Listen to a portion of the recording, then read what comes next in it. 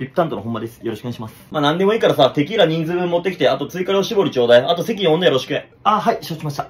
ちょっと、はい。あの人一度スイッチ入ると謎にどんどん切れるから気をつけてね。ああ、はい。ああ、女の子いねちょっと女まだ。んで、おしぼりちょうだい。あとさ、これチップ渡すから DJ に曲リクエストしてくんないあ、すいません。すぐ探すんで。よろしく。やべえな、今日マジで席についてくれる女の子いねちょっと。あ、すいません。またちょっと女の子が。つうかさ、そんなことでさっきから忘れてることない？えー、っと、おしぼりさっきから頼んでるよね。ああ、大変失礼しました。あのさ、お前言われたこともできねえの？